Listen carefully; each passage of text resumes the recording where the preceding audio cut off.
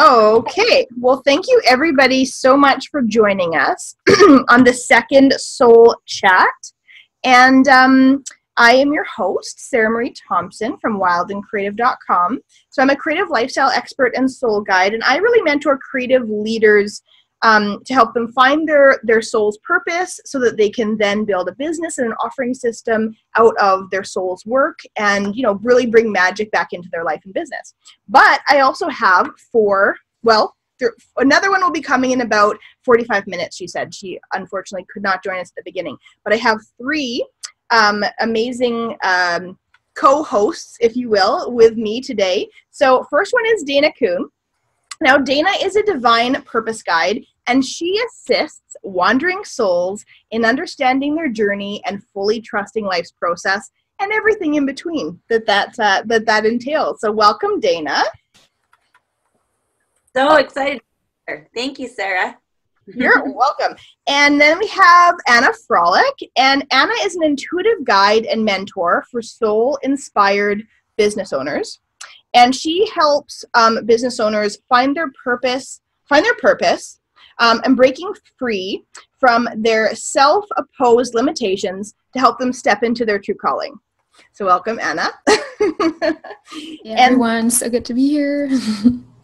And then we have Lisa Marie Pepe, who is a confidence and online visibility coach, and she helps women, um, heart centered women, embrace their unique gifts, develop rock solid confidence, and gain vibrant visibility. And then another guest that we're going to be having come on, Kara Melendy. She's an astrologer and goddess mentor, and she helps healers, lightworkers, and spiritual seekers stop hiding and awaken their inner goddess, which is very cool. So, what is going to happen today on this soul chat is it's going to be a two and a half hour call of really just jamming out with these amazing guests. Um, if you have any questions at all during the call, please post them and I'll read them out. Or if you'd like to um, even come on come on the call or even go on live, just put your hand up and we'll um, unmute you and you can ask questions. And um, if any of the guests, any of you guys have to go to the bathroom or anything like that during the time, just like leave your video um, uh, on so that it stays up at the top and just go, come back, whatever, it's all good. And uh, I actually have a bunch of questions that have been sent in by email that I'm also going to uh, ask you guys. So it's kind of just like a random questionnaire question period. It's just kind of like a fun um, information session for everybody that's going to be watching. And, uh, you know, we'll try to keep everybody's like personal chatting to like a little bit of a minimum, right? So it's not like an hour long. Like Dana doesn't talk for like a whole hour and then like all that kind of stuff, right? So, anyways, we'll go from there. So, my first question, we're just going to dive right in. And ladies, you're all unmuted, so you know it can be kind of just like a, a chit chat if you like. But my very first question is from a lady named Connie, and Connie asks, "What were the key events that led you to this work that you're doing today?" So, who would like to go first? Come on, guys. Okay, Dana. Yes. Oh Lord, so much. Um, so much has happened um, in my life as if you can ever sit back and kind of take um, um, just a roll call, right, of everything that has kind of led you up to where you are. We all have a very deep story, and so for me my you know i i realized that i had a lot to share just a few years ago um, after i had done some really deep soul searching and um, came to the conclusion that i couldn't run for my shit anymore so this is a grown-up conversation right sarah oh yeah, yes yes yes swearing whenever I, whenever I get a little crazy, I, I may um, throw in some f bombs and stuff. So I apologize now. But um, I really couldn't run away from my shit anymore. And so I had to do a, a big kind of go through my own closets and figure out what was holding me back. And a lot of that was addiction, depression, um, super self doubt, wondering if I was even worthy. Um, God, I just got cancer this last summer, which was so freaking weird. Didn't even know it was there until it was taken out, but I had an idea that something was wrong with my body. And so finally, I just started listening, and I was um, I keyed into a couple of really good mentors, and one of those was Sarah, and just realized that um, if I've had all of this shit happen in my life, there's a lot of women that that has happened to too. And I was wandering for a very long time, and um, finally just came into center and realized that if I just slowed down and paid attention, that I had all of my own answers and so with that, um, I, my stomach just got really warm. With that, um, I was able to step into the grace of collecting all of these wonderful things that I had learned and learned from and created a foundation that was easy and simple so that I could work and guide with women, guide women because I believe the soul sister tribe is super important especially with all of the crazy shit that's going on right now we really need to, to just come together and support each other and lift each other up. Um, i wanted to simplify everything. So that's that's what i've done to just in in a short little snippet that's what i have done is just come into simplicity and really show myself some grace. And i every time i coach someone i get so freaking fired up. Like it's almost like a drug for me. It's totally crazy and there's a woman that's on here with us, and her name's Kim. And I had the blessing to be able to coach her this last summer. And the, the shit that I saw her walk through and come to and just step into was is so fucking fantastic. it's like hug. It's crazy. I absolutely love it. So that is me in a nutshell. Awesome. Well, that's a good answer. All right. that's a hard act to follow, Dana. I don't know. Come on. I don't know if that's gonna go yet. um, any of you guys want to? I'll repeat the question. What were the key events that led you to this work that you're doing today? I'll go. I'll go. Okay.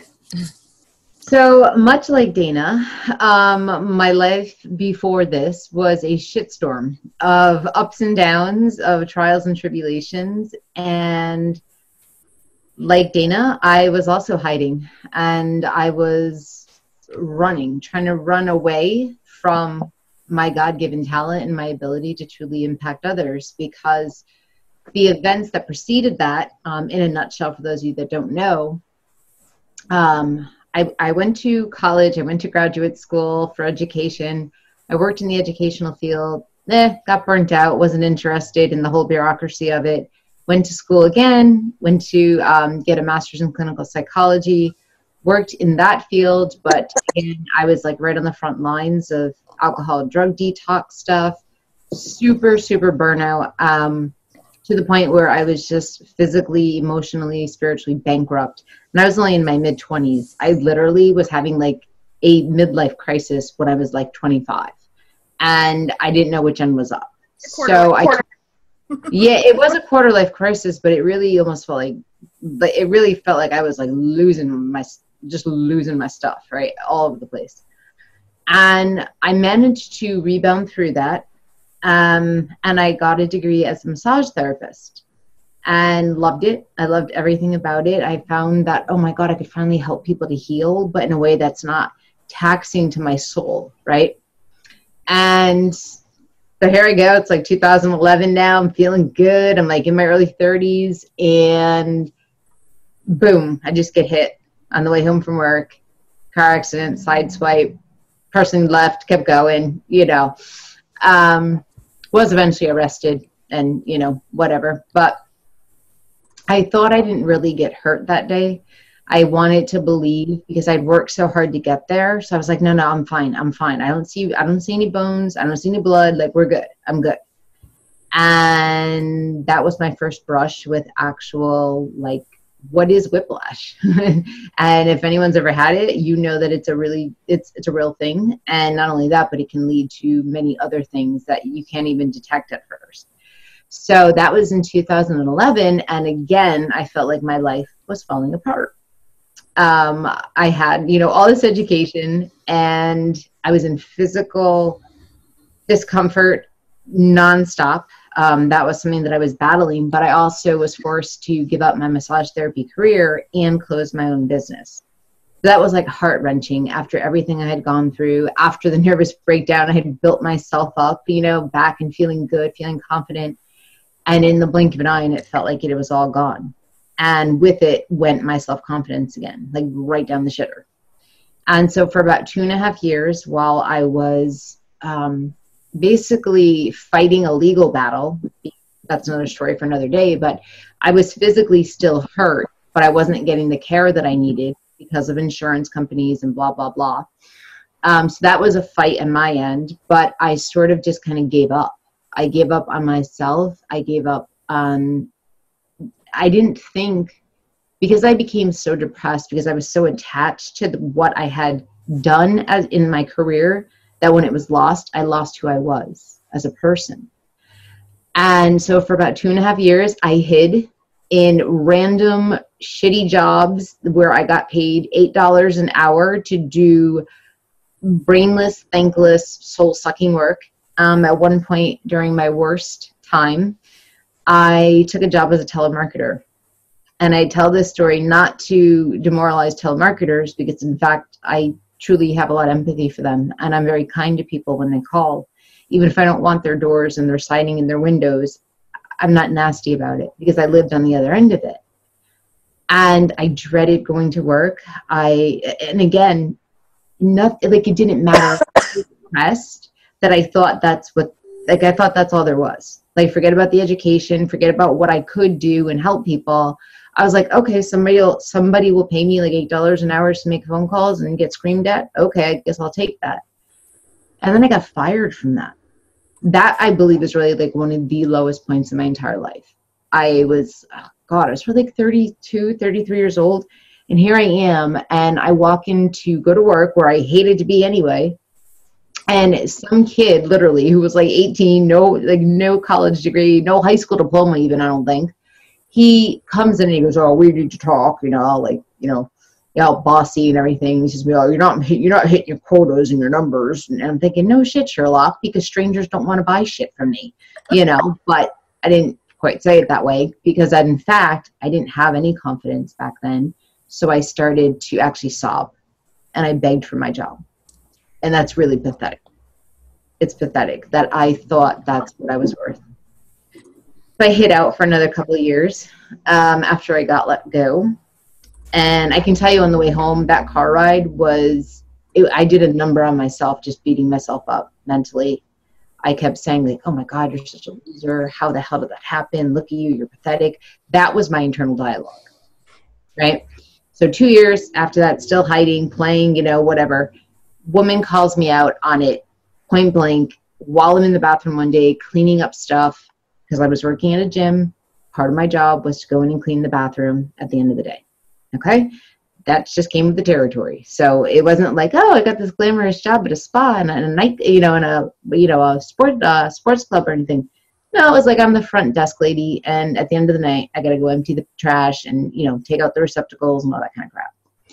So I'm in there one night, and this lady I'd gotten to know really well says to me, I, "You know, I have to ask you, what are you, what are you doing?" And I just kind of looked at her very quickly, and I was like, "I I don't understand what you're saying. Like, I'm cleaning, you know? And she's like, no, like, what are you doing? And I'm like, cleaning? Like, do you want to help? Right. So, and then like when the third time she asked me, and I, I credit that woman, that guardian angel, to really being the moment in which I feel like my soul was reignited again. Um, she looked at me and she just said, I don't mean what are you doing right now. She said, I mean, what are you doing with your life? She said, Why are you here? Why are you wasting your time, your energy? She said, and she was very frank about it. She did not pull back.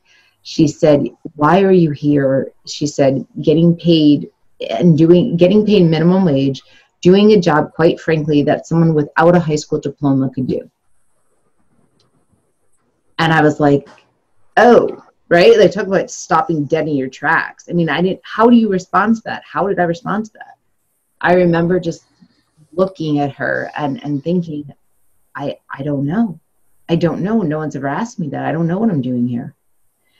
And from there was really, I want to call it my journey towards like self love, self acceptance, building myself back up. But this time, understanding that no matter what I did, it would not define me as a woman.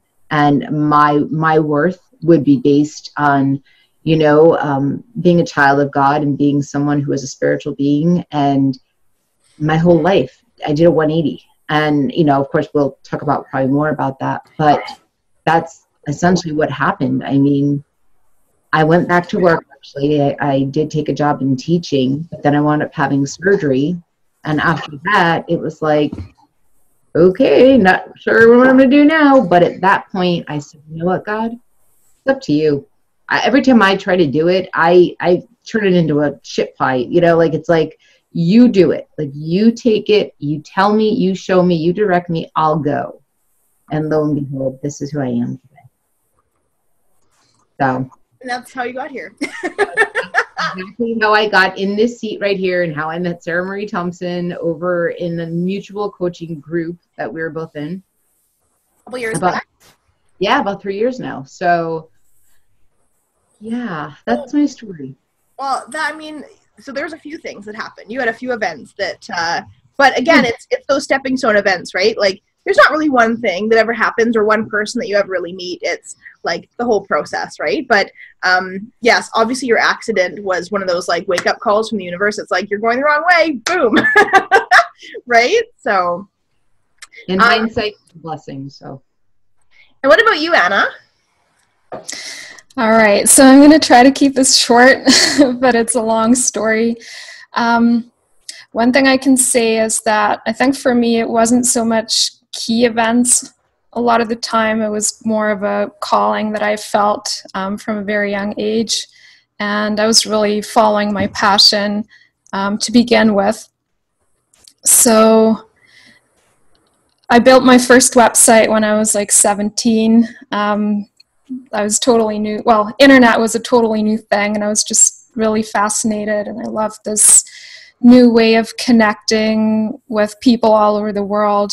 I was in 1997, and then yeah, I'd always been a creative person. I always loved uh, trying out new things, so I felt inspired to learn how to make my own websites, and pretty quickly, yeah, I, I felt that this was something I wanted to do for a living someday, and I always had this entrepreneurial spirit.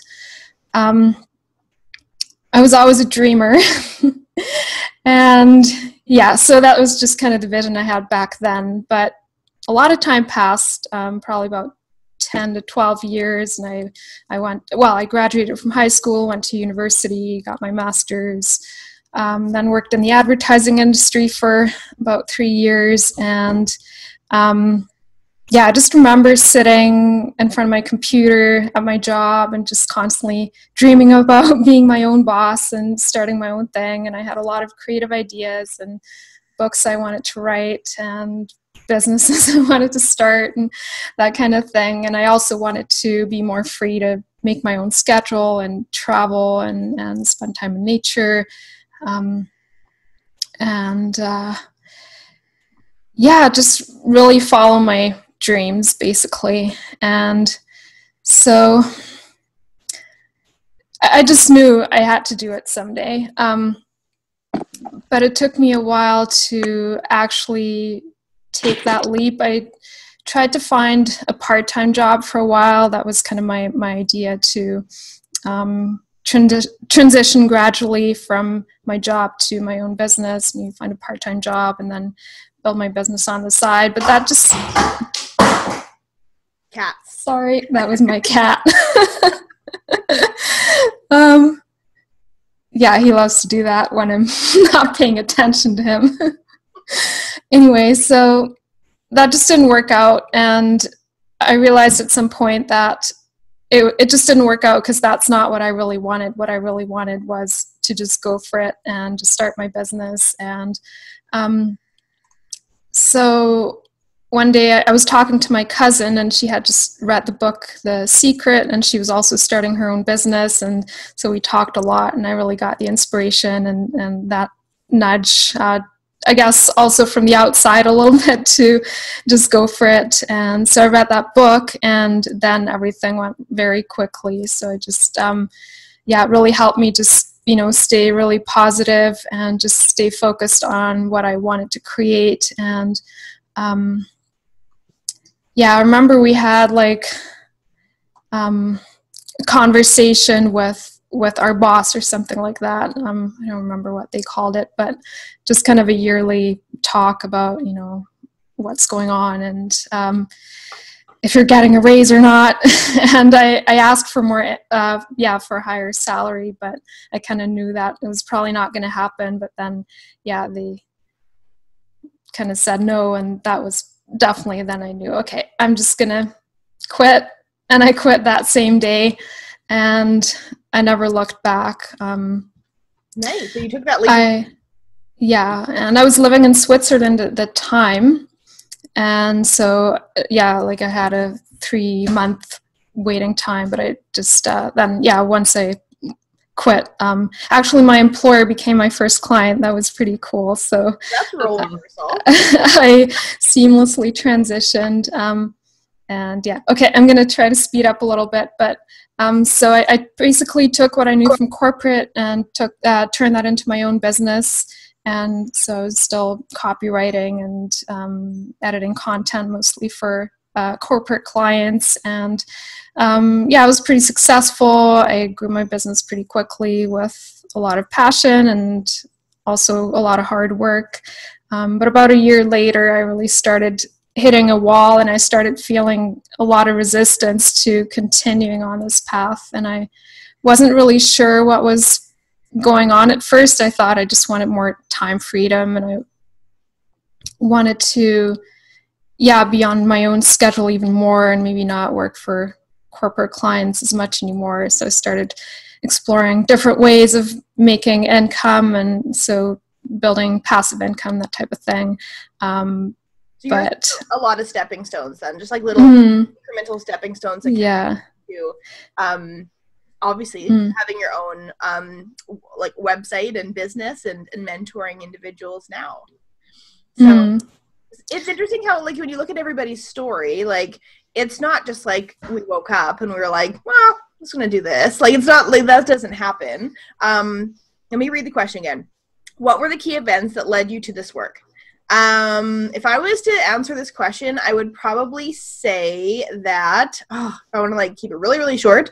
I would probably say that um, initially, um, well, doing creative stuff. I mean, that's that had always been like my life. But I would probably say it was actually meeting um, meeting a girl that I started my first website with, and we kind of started that creative movement online. And at that same time i got really into like energy work and that kind of thing and then really implemented like those two key factors and then honestly the rest was like in between that time i had a corporate job where um, you know it was like the golden handcuffs and i was like making really good um, income and i had a company car and free gas and like all that stuff i can think about now but you know i cried every day I like cried every day pretty much. If I had to go away for work, I would like cry.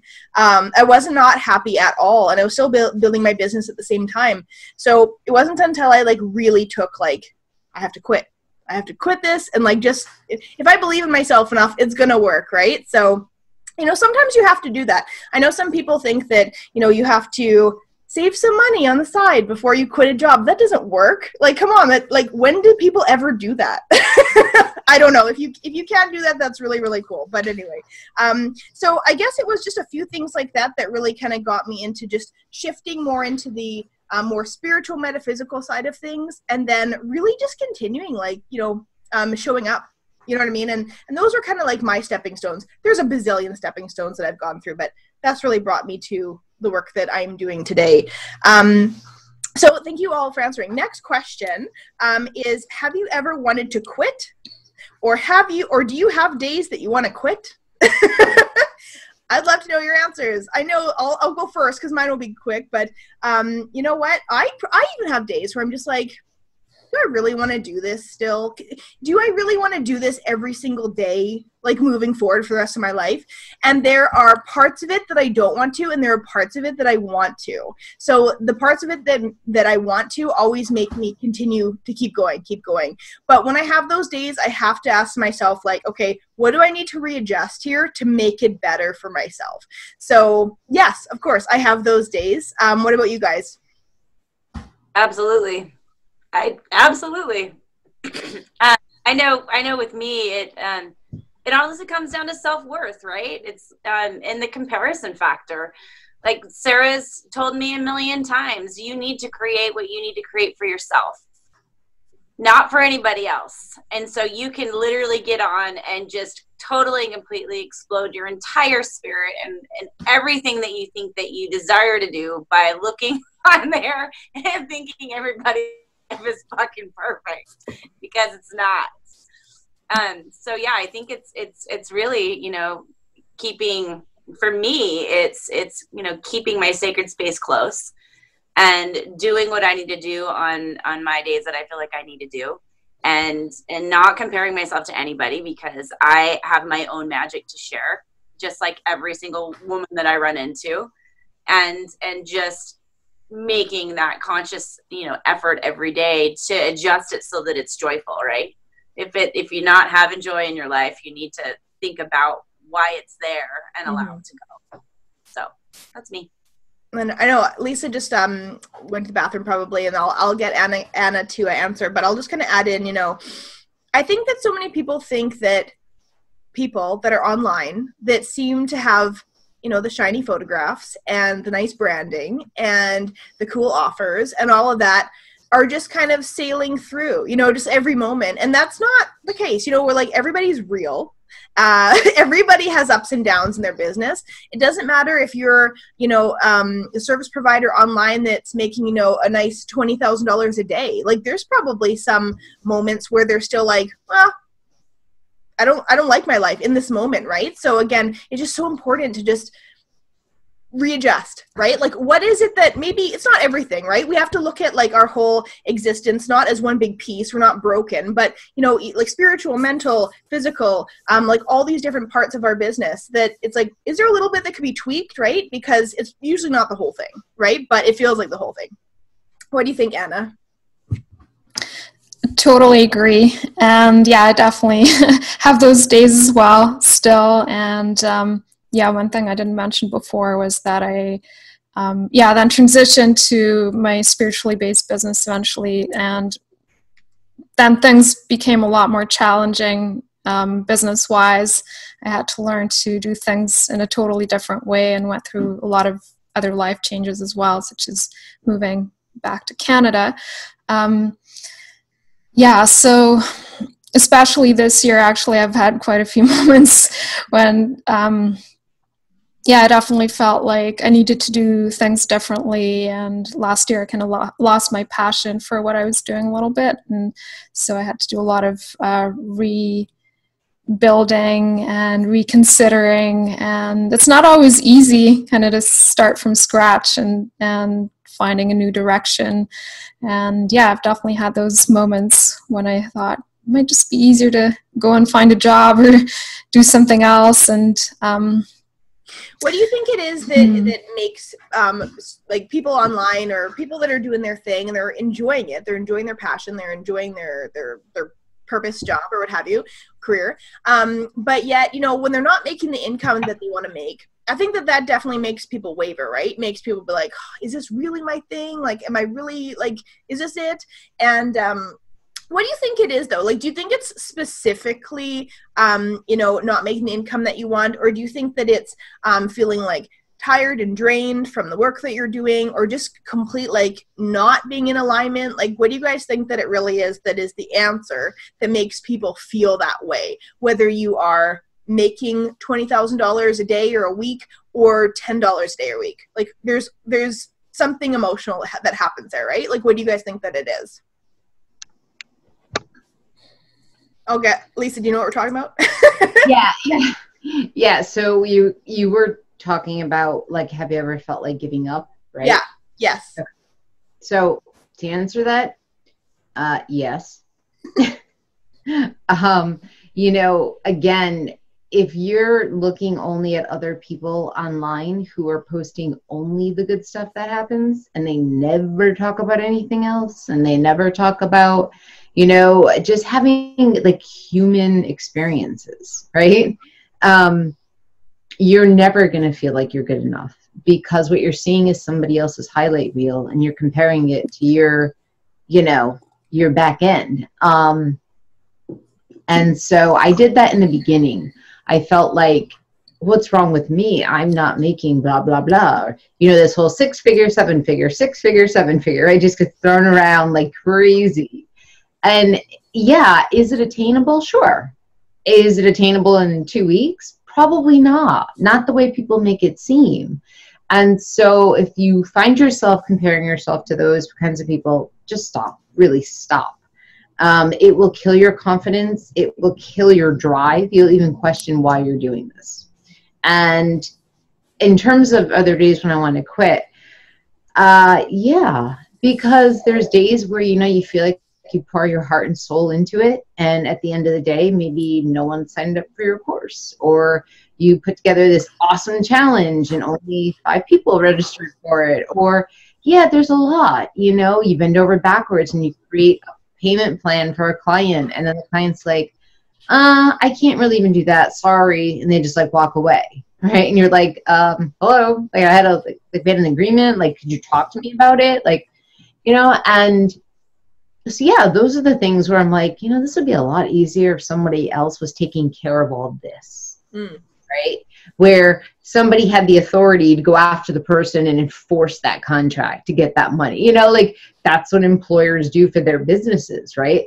So, yeah, of course there are days, but, but the joy of experiencing and witnessing people having major, major breakthroughs and major life transitions, people, you know, literally just getting up, walking away from domestic abuse um, and then creating a whole new life for themselves. You know, those kinds of things that happen, and those happen more than not, right? It's like what you focus on.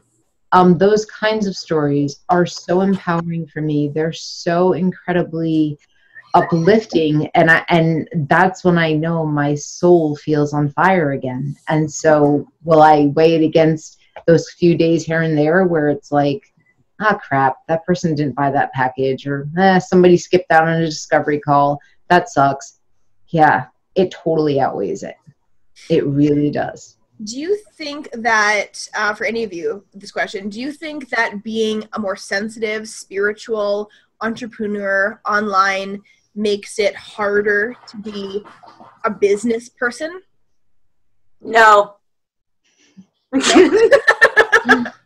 okay why do you think dana um, I think that we all need to know what our boundaries are. and I think that we all need to be sensitive to that. And and you, it's it's. Um, I believe myself to be an incredibly sensitive, um, empathic, enlightened person, right? Mm-hmm.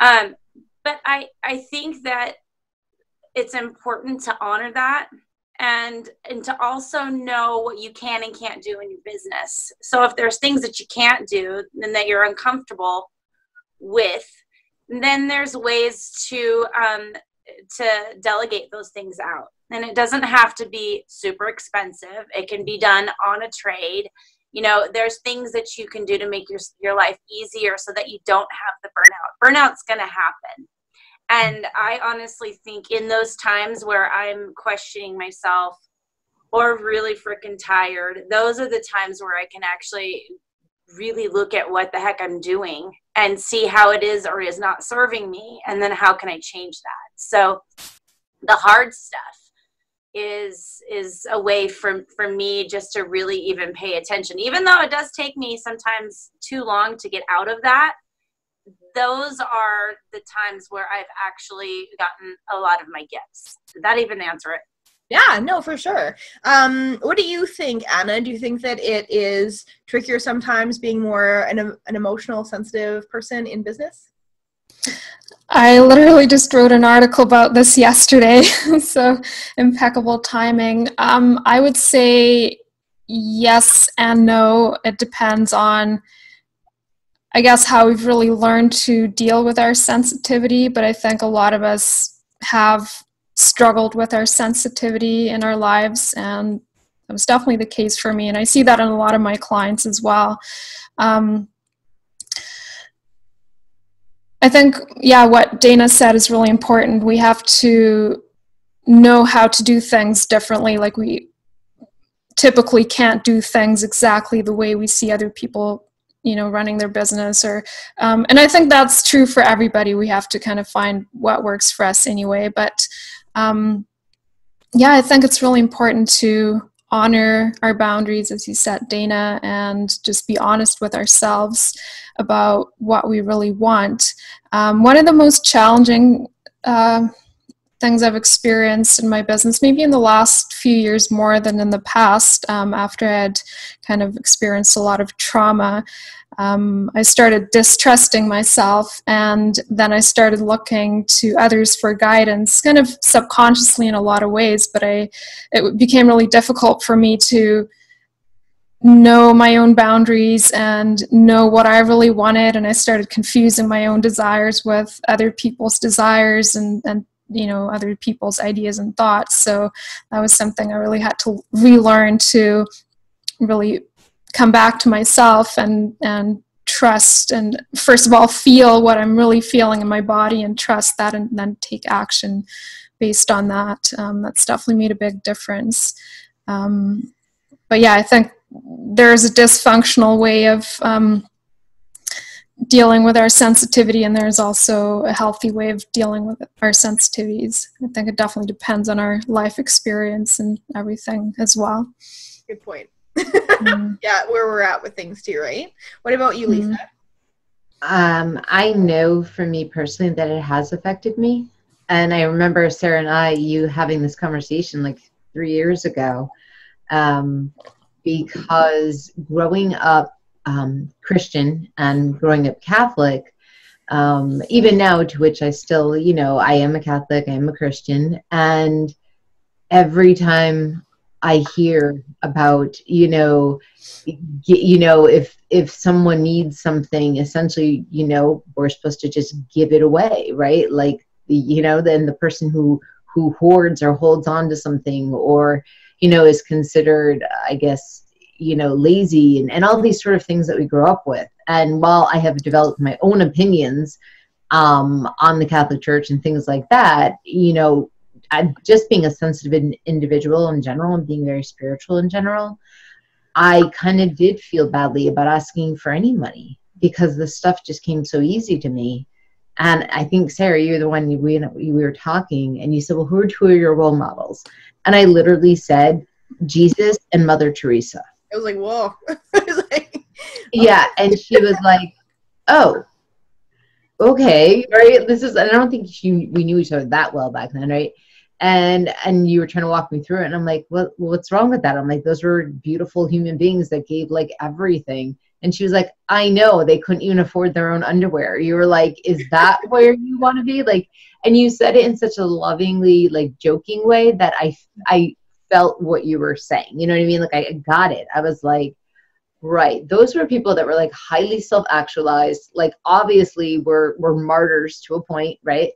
And that's okay that's what they did but it's okay if i actually want to buy my own underwear and my own food and my own you know and my own clothes and and take a nice trip and buy a nice car and things like that. So i yeah like i i have definitely worked tremendously over the last couple of years in particular um and have learned that it that it's more than okay and I think one of the things, and I don't know if you'll touch on this, but I want to kind of swing back if we don't, this idea of how much money you make equates your self worth, right? Because there's this lie going on in this whole entire industry about if you're not making money, then, well, basically you suck. And that's not the case.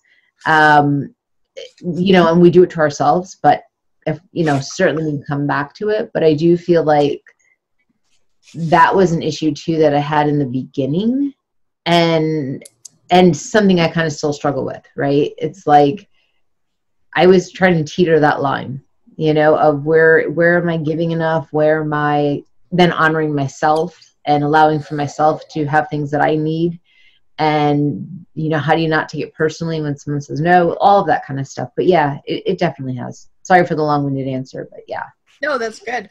Um, it's just so interesting our perspectives on things because when I first had my very first business when I was 21. I had an interior design company, and my role models were people like Bob Proctor and um, uh, Brian Tracy and like all of the like influential men in business. And I I don't know. Like I can, like I, I'm thinking back like and I don't really think that I I had a lot of female business role models. Like I had women that um, kind of took me under their wing like a, a, as a young adult right? And they were very powerful women um, that I knew in person. But when it came to like the people that you really look up to for business I really looked up to the suits you know what I mean? Like it, it, it did. It felt a little weird. Like it was exciting and it was inspiring, and I was like, I want to climb the corporate ladder. I didn't even know what that meant, but I was like, I want to climb the corporate ladder in heels. And um, you know, looking back, I was like so in the masculine energy. And now, I mean, I'm pretty balanced, but I'm way more in the feminine energy now with the with the work that I do, and it makes such a difference. So I will say this though, being more the feminine energy and being more sensitive and being open to it and being more um, open to your intuitive gifts and more empathic and all that kind of stuff and just being open I would say that I it is a little bit trickier than just being like a hard edge bitten business person because yeah. also though too that didn't serve me back then either because like i was really in the masculine. And i like can look back and say that i wasn't even using my intuition in some in some um, events and instances right? Like so there has to be that balance. And i think that a really good business person a sensitive um, you know a spiritual business person has to be balanced and I, that I think that's the thing that it's like the trickiest thing to do, right? Is like really embrace your feminine energy, really embrace your masculine energy, knowing when to pull the brakes on it too. And um, but again, like Anna said, it's like the life experiences that show you kind of how to get balanced, right? So yeah i think it is tricky at times. Um, and uh, is ali on? Ali jean um, was talking or i was watching a thing of hers uh, this morning and she was saying about how like it's okay to cry. It's okay to cry um, you know uh, in your business and you know be open and vulnerable to people online and different things like that. And um, that really is the truth though right? Because people will connect with you much more deeply if you are open. Um, like you were saying lisa about how you know, if you're not sharing your stories, good and bad, then well, you're not really being authentic online, right? So right. anyway, um, and anybody, just as you're watching too, if you have any questions at all, please post them in the um, chat box or raise your hand and you can come and talk to us. Um, we'd love to hear from you in person um, and that kind of thing too.